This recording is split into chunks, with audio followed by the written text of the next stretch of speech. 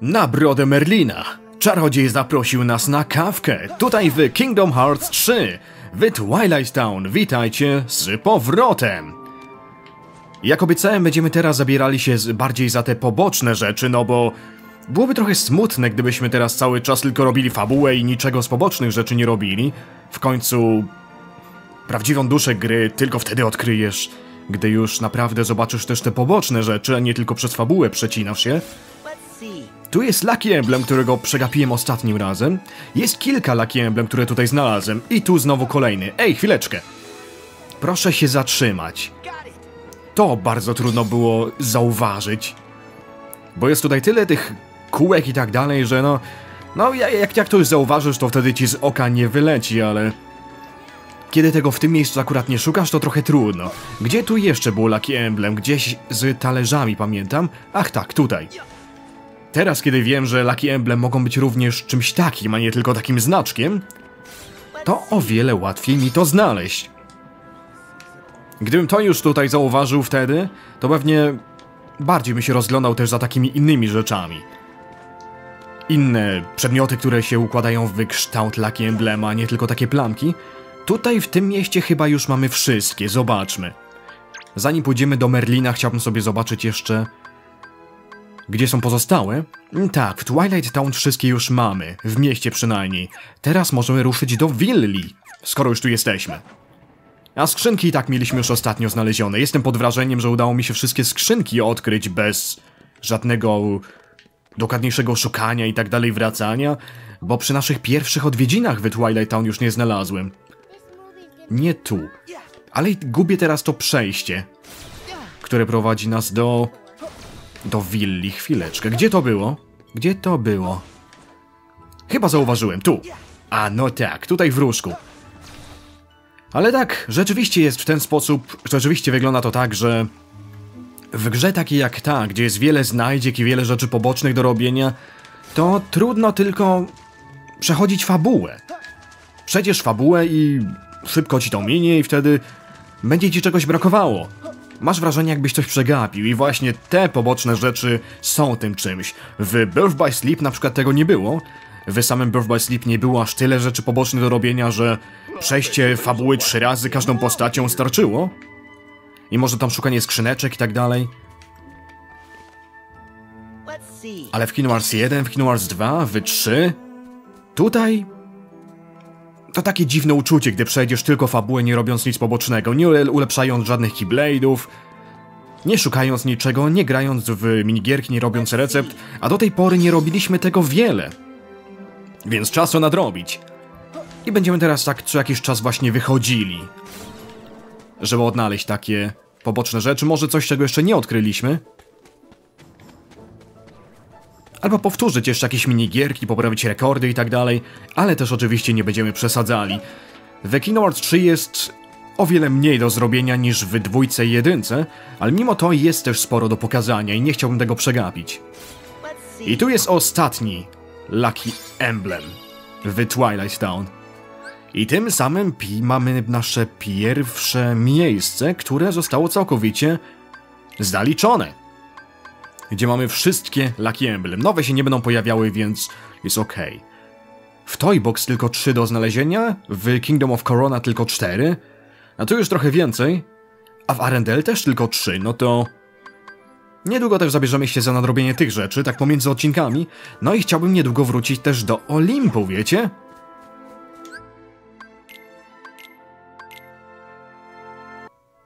Na szczęście bardzo szybko możemy tutaj zmieniać między obszarami, tylko szkoda, że jest ich tak mało. Nie, nie chcę wracać na mapę. Czyli wszystkie znaczki w Twilight Town mamy zaliczone. Mogę wam pokazać jeszcze tutaj, że ulepszyłem sobie mój Keyblade'ik, ten e, zupełnie nowy. Happy Gear, a jako ikonkę mamy buły w przebraniu potwora. Udało mi się kilka poziomów ulepszyć. Chyba na trzecim poziomie był ten Keyblade, kiedy go dostaliśmy. Czyli pewnie bazowy, pierwszopoziomowy atak i te sprawy byłby o wiele mniejszy. Czyli w sumie każdy Keyblade jest tutaj równowarty, gdy go się nie ulepsza. A zależnie od tego, kiedy się go zdobywa, to on jest już ulepszony po prostu. No niestety nie mogę go aktualnie ulepszać. Tym, który chcemy następnie ulepszać z Adamantitem i te sprawy jest Kingdom Key. Tylko dwa poziomy jeszcze. Będziemy na to celowali, a tak, poza tym wszystkie do tego samego poziomu. Prawie każdy kiblet jest tutaj w tym samym poziomie, tylko właśnie... Mm, tylko właśnie Crystal Snow jest o jeden poziom wyższy od pozostałych, bo postanowiłem sobie to poświęcić. No, ten miecz mamy w każdym razie wyposażony i chciałbym też trochę więcej robić misji pobocznych z zdjęciami. Skoro i tak robię zdjęcia, tu w tej boksie, w Arendelle, lotowego pałacu zdjęcie. I tutaj agenta CDA, albo zdjęcie Ziusa, no to wszystko możemy zrobić, szczególnie zdjęcie Ziusa, jak będziemy wracali jeszcze do świata Herkulesa, zobaczyć jakie tam zmiany są bo pewne zmiany się tam odnajdą. Okej, więc szkoda, że z tobą nie możemy poje- pojechać. Naprawdę szkoda, że Twilight Town jest teraz o wiele mniejsze niż kiedyś. Chciałbym odwiedzić te pozostałe miejsca w Twilight Town, ale nadal jest nadzieja, że może pojawią się jakieś DLC. A oto Merlin czeka na nas. Powiedz nam te złe wiadomości, kolego. Ah, greetings, gentlemen. Uh, What brings you all the way out here? Besides the finest tea this side of Big Ben, of course. Uh, Huh? But, Merlin, I thought that you asked us to stop by. gracious, uh, did I? Mm hmm. Didn't you leave a message for us with Chip and Dale? About a book? Ah, yes, the book. That's right. Behold. Hey, this is. What was that on it? Did something happen? Well, that's what you need to find out, lad.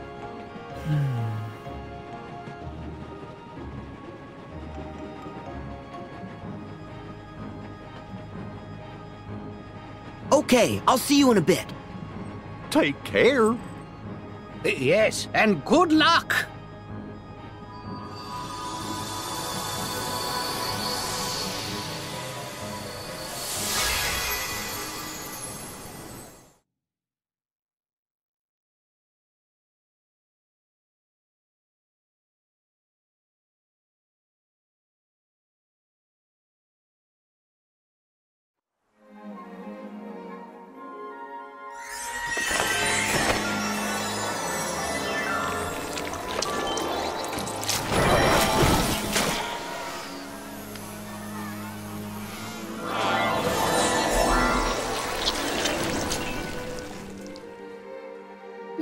No bother.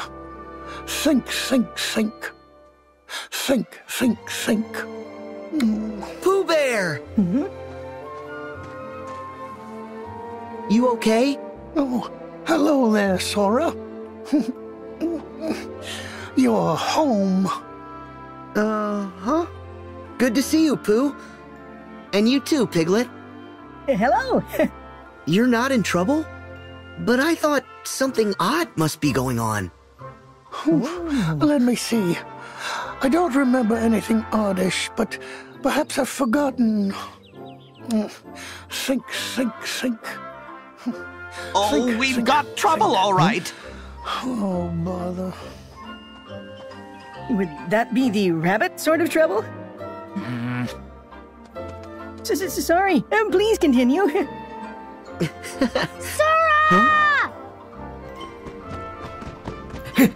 Kefalump! Wow! Who's this? Ratunku! It's okay. He's my friend. Hi, I'm Sora. And I'm Lumpy. It's nice to meet you. Ah, Suffering sassafras. Stomp around a little louder, why don't you? Go for I'm sorry. I kind of like it when the ground gets bouncy. Oh, Well, I suppose if something has to bounce. Huh? Hmm? Speaking of, hmm? Whoa! Whoa! Whoa! Back for some more bouncing, Sora? Tigger! Come on, let's go. You too, Roo. Yippee! me too, me too. I want to bounce. oh yes, it is time for bouncing. Say no more. All would-be bouncers are welcome. Oh, I remember now. Rabbit's trouble is harvest related. Well, thank you for remembering my plight, Pooh. Better late than never. Excuse me? Would anyone else care to remember why we're here? Hmm. As I recall, we came to help you with your garden, Rabbit. After which, perhaps, you'll invite us in for a smackerel or two of honey? Correct. Uh, No, no. I mean, we'll, we'll see about that, Pooh. Now, the garden, if you please. You can help too, Sora. What? Me too?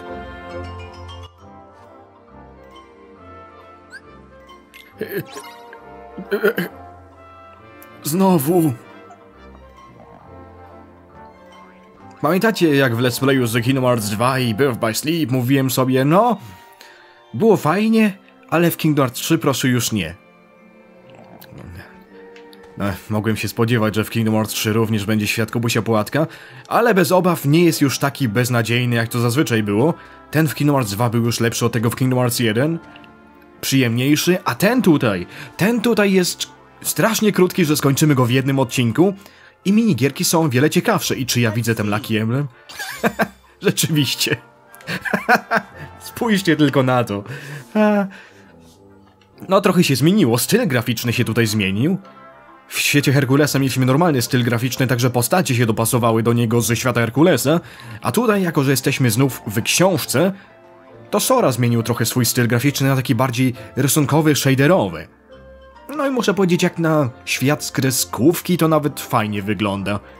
Nawet fajnie wygląda i pasuje na tej grafice. Gdzie? A tu, rzeczywiście. No, co całkiem fajnie to wygląda, muszę powiedzieć, i też znów słyszenie tej muzyki nie denerwuje mnie jakoś, bo to jednak przyjemna muzyka, tylko jak się ją zbyt często słucha, to, to może być nie aż tak źle. No i wszystkie postacie tym, tym razem naprawdę przez cały czas mają głosy. Tak samo jak to było. Jak to było wcześniej, no. Fajnie to wygląda. I mamy też nowe postacie. Po raz pierwszy poznajemy Lumpiego, he, he, he, Hefalumpa. Pamiętacie, jak w Let's Playach zawsze mówię, że Heflumpy są straszne? No to jest wyjątek. Nie, lepiej nie, lepiej, lepiej nie pomagaj, bo jeszcze zepsujesz. Ale ja dobrze pamiętam pojawienie się Lumpiego. To było zawsze tak w tych y, książce i w kreskówkach Kubusia Płatka, że o nie, hefalumpy przyjdą i zjedzą mi miód. Wszyscy się boimy hefalumpów. I wtedy to była te, też y, taka noc u Kubusia Płatka w mieszkaniu, że on się boi hefalumpów i wtedy po raz pierwszy poznał y, tygryska, jeśli dobrze pamiętam. I potem pojawił się jakiś kinowy film, gdzie po raz pierwszy się Lumpi pojawił.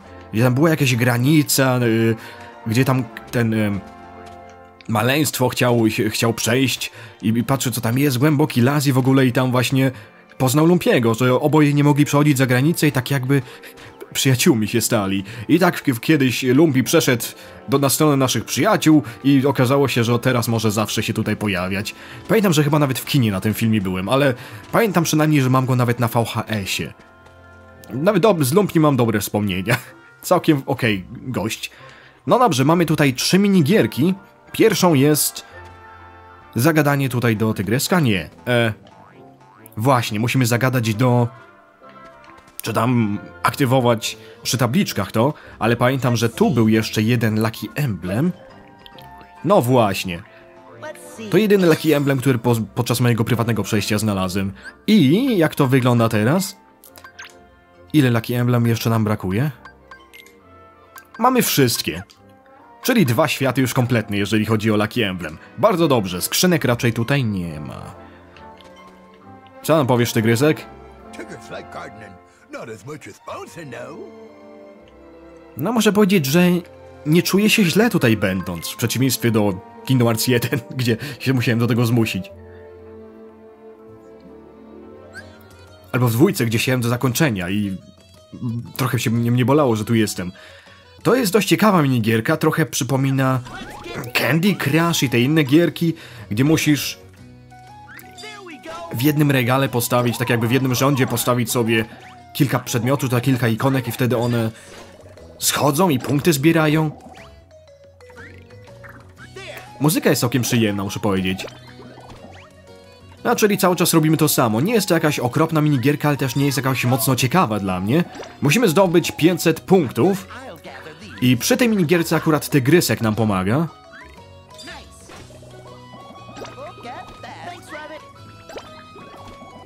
Co jakiś czas y, Rabbit też przychodzi sobie i zaczyna tańczyć. I co jakiś czas mamy też tutaj, jak się naładuje tygrysek, możliwość ciśnienia trójkąta. I on wtedy rozwali tutaj to i zdobędzie nam jeszcze więcej punktów. Można też powiedzieć, że łączy nam nowe takie, nowe takie złączenia tych całych, tych całych ikonek, tych całych warzyw. Umożliwia nam nowe kombinacje i te sprawy. No sam kompletnie nie wiem jak to ko komentować, ale no niech będzie, nie jest to aż tak źle, tylko po prostu skończymy to, pokażę wam ka- każdą tą minigierkę raz i możemy być zadowoleni z tego, że już to przeżyliśmy. Już nigdy tutaj nie wchodzić. Mm, widzicie też, że tutaj na boku, na jednym wiadrze jest ikona, że tutaj chce zielone warzywa. A to byłoby dobrze jakoś wykombinować, jak mu te zielone warzywa sprawić, żeby akurat tam weszły. Mm. A nie, czekaj. To królik sam załatwił to. Czy to oznacza, że zawsze przy tych yy, wiadrach, gdzie jest taka ikonka, królik sam sobie załatwia? No możliwe. A teraz pomóż mi, tygrysek. Mogę coś klikać, żeby ci pomóc? Chyba nie. Ogólnie ciekawy temat jest teraz, że Sorań znowu jakoś zniknął ze skrzynki, tfu, z, z okładki książki i my musimy o sobie przypomnieć, ale oni o nas wszyscy pamiętają. To ciekawe, dlaczego zniknął. No po to, żeby mógł jeszcze raz wejść, ale tak, jak to wytłumaczą fabularnie, byłoby ciekawe dowiedzieć się. I ułatwili ty przynajmniej tym razem też to, że nie trzeba szukać zaginionych, wyrwanych stron i tak dalej. Tylko od razu tutaj wchodzisz, bo Merlin tym razem o książkę dbał.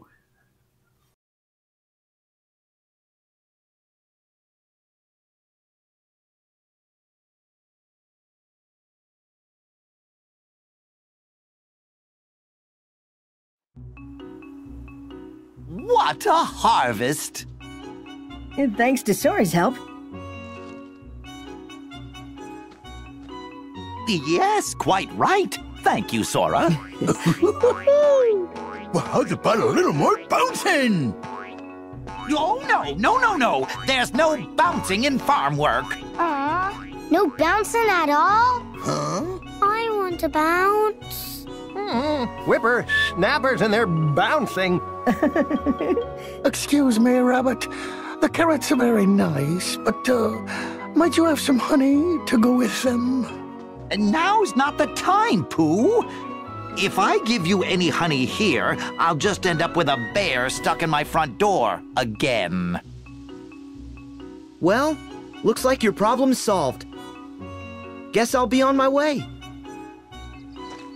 Solved? Oh, it's far from solved. We still need to harvest the fruit. Won't you stay, Sora, for the sake of honey? Uh, okay. Dla, dla dobra miodów teraz musimy zabrać się też za zbieranie owoców. A chwileczkę, skoro już tutaj jestem, Let's see.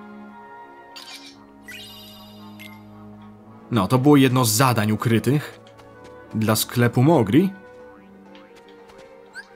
I zgadnijcie, czym jest ta minigierka.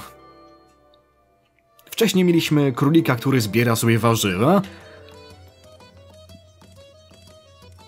I... Tygryska, który pomagał nam je zbierać. Teraz mamy Lumpiego, który pozwala nam...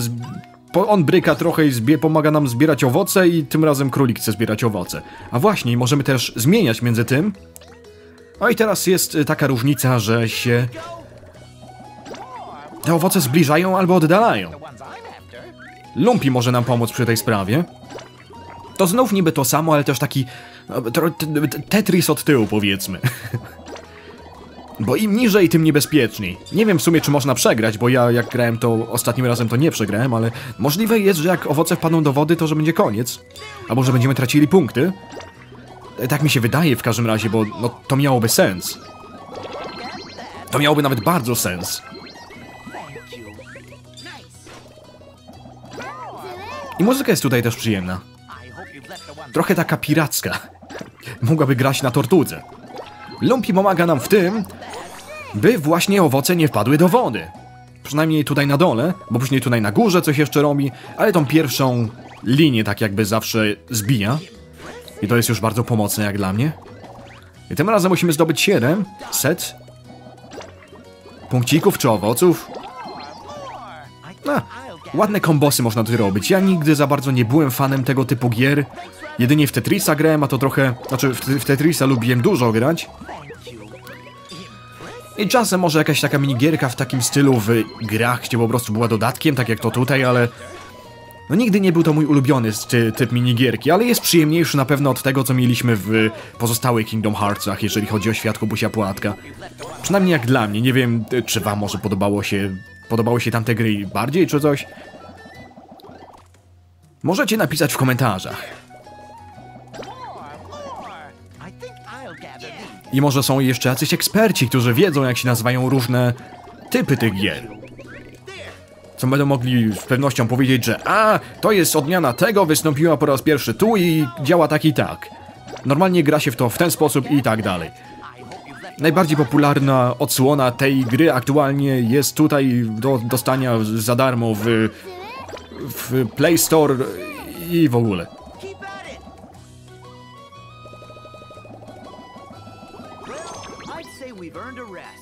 Ale nie czuję się jakoś źle grając tą minigierkę teraz.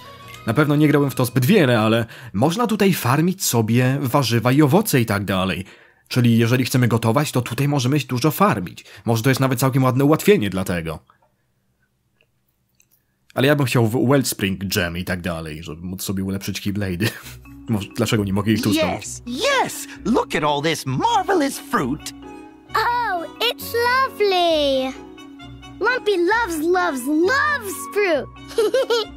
You know, Rabbit, I find that fruit always tastes better with a little honey. You're right, Pooh. It certainly does. Woo-hoo! Then I'll keep looking for fruit up at Bouncing Height. And I'll search closer to the soil. Sora, could you help me with my flower patch? I've got a surprise for Pooh.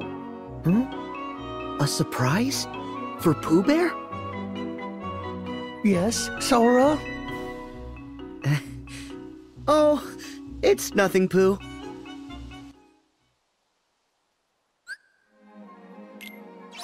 I teraz czeka nas jeszcze ostatnia minigierka. Swoją drogą to fascynujące, że nawet ten świat się całkowicie zmniejszył, bo wszystko dzieje się w jednym miejscu. A tak to zazwyczaj mieliśmy kilka map, dokładnie jak Twilight Town. No, czas pozbierać teraz też trochę kwiatów, żeby zorganizować dla Kubusia Płatka jakąś wielką niespodziankę, którą ma królik dla niego przygotowano. No jakby mogło być inaczej, tutaj znowu ta sama minigierka, też tym razem chyba będą spadały rzeczy, ale tym razem mamy taki, taką, em, taki dodatek, że szukamy miodu. Tym razem nie musimy jakoś tam ilość punktów zdobyć, tylko tym razem musimy napełnić baryłkę miodu dla Kubusia Płatka, bo miód jest tutaj pochowany wśród kwiatów. No kto by pomyślał? I to trzyma się kupy w ten sposób, że że pszczoły z tych kwiatów miód zbierają i tam mają baryłki, w których chowają ten miód od razu, żeby nie musieć lecieć do gniazda? Czy jak chcecie mi to wytłumaczyć? Ale w każdym razie musimy zdobywać te baryłki, to jest nasz cel. Czyli już bardziej ciekawa rozgrywka, powiedzmy, już bardziej ciekawy sposób na, na punktowanie.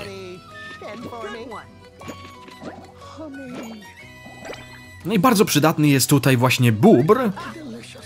Czy tam, jak on się nazywał? Bubrowy kret. Krecik. Bo gdy jego użyjemy, to on zbiera te baryłki od razu. No bo gdy się zbi zbiją te barełki, to aż tak dużo nam nie dają jednak.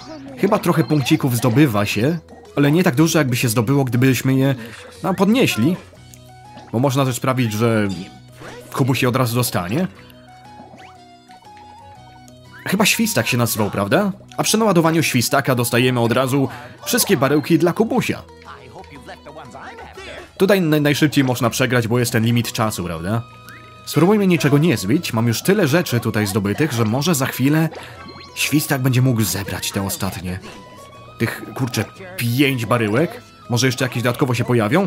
Nie! Okej, straciliśmy trochę baryłek. Ale i tak, nowa się pojawiła. Dawaj! Zbieraj, mój drogi, zbieraj! No niestety nie zebrał wszystkiego, ale... Przynajmniej zdobyliśmy tu już dla Kubusia to, co chciał. I tu można farmić miód. No zobaczymy, co za chwilę u małego szefa kuchni będziemy mogli ugotować dzięki temu.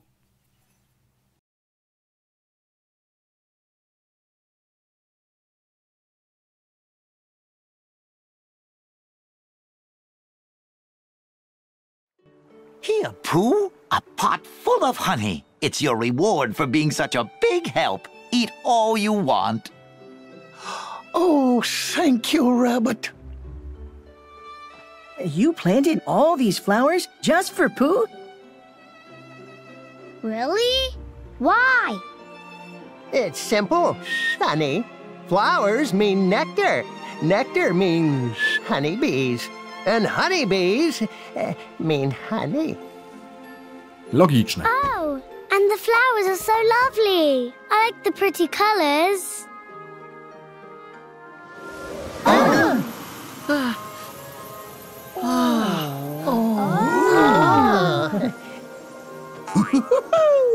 Look at them all. They're boasting even higher than me.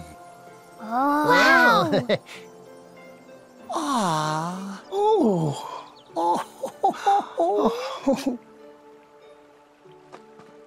Sora, I believe the one I should thank for all that yummy, delicious honey is you. Don't mention it, Pooh. Besides, we all helped. Um, Sora. Hmm? You used to be right here. Why is it that you went away? Away? Oh, that's what you meant by your home. Yes. You see, when I get a rumbly in my tumbly, it's very hard to think of anything but honey. So I was worried that I might have forgotten you away. Silly bear, I'd never. Oh, good. Because I want us to be together forever. Pooh. We are together. There isn't a second that we're not. Except I can feel it. Our connection's weaker. Why is that? Oh, What's wrong, Sora? Hmm? Oh, it's nothing. What matters is I'll be here from now on. No going away. Thank you, Sora. Hmm? Oh. Oh.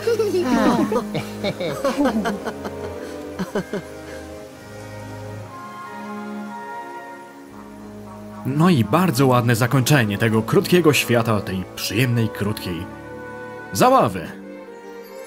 Ta strona bardzo ładnie wyglądała i w końcu znów Sora pojawia się na okładce.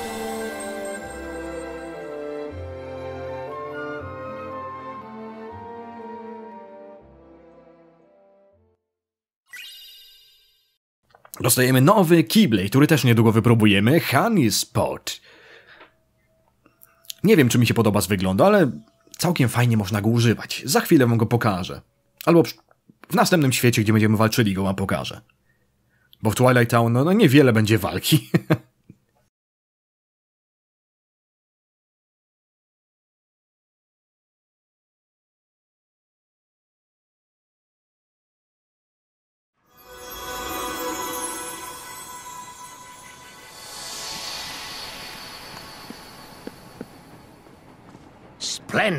All is as it should be. But how come Sora's picture disappeared in the first place?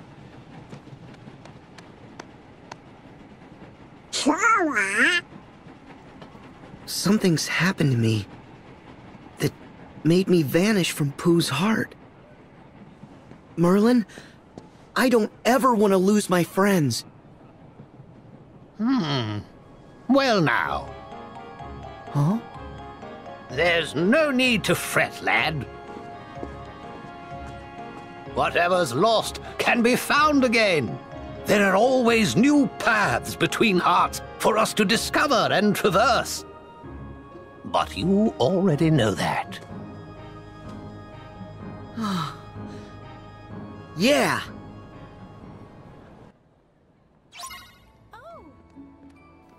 Czyli coś się zdarzyło, że Kubuś Płatek zapomniał o Sorze. Czy tylko mi się wydaje, czy Sora rzeczywiście, gdy nie ma wokół Donalda i Goofiego, jest trochę... No wydaje się być bardziej... No, mniej głupkowaty, powiedzmy tak. Chyba Donald tak na niego wpływa z jego... z jego byciem. Wyposażmy sobie nowy Keyblade od razu. Um... Niech Ever After pójdzie na chwilę na przerwę. Tutaj Hungry Spot.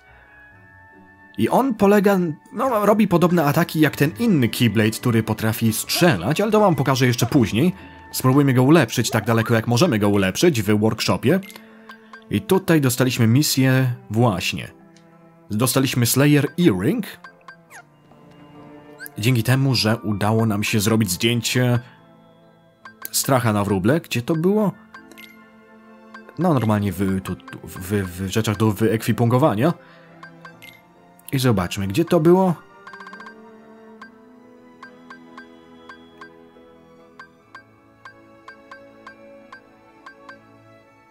Nie, to nie jest... że Czekaj. Tu? Nie wiem, nie mam go aktualnie. no niech będzie, niech będzie. To może później mogę go jakoś jeszcze wyekwipunkować, zobaczymy. W każdym razie chciałbym wam pokazać tutaj, że kupiłem nowy, nową różkę Donaldowi, Nirvana. Całkiem przyjemne, jeżeli chodzi o dodatki. Zabiera trochę siły, ale magii daje sporo, w przeciwieństwie do pozostałych różek. No i Goofy, on co prawda już znalazł całkiem niedawno nową tarczę, czyli Star Shield, to mu wyekwipunkowałem, ale chwilę później zobaczyłem w sklepie Aegis Shield. Co prawda w ogóle magii nie ma, ale do defensywy siły dodaje trochę, czyli no ogólnie przydatne. I też tutaj trochę mm, no co prawda zmniejszył rezystencję do elektryczności, ale trochę zwiększył rezystencję do Blizzarda. I wygląda całkiem fajnie, jestem fanem tej tarczy. Więc możemy być z tego zadowoleni. I chciałem przecież ulepszyć tutaj jeszcze w workshopie Keyblade. Po prostu baryłka miodu, z której miód aż się wylewa. I trzeci poziom, no, no, to to właśnie to, o czym mówiliśmy, że czasem Keyblade jest już trochę na wyższym poziomie, zależnie od tego, kiedy go dostajemy.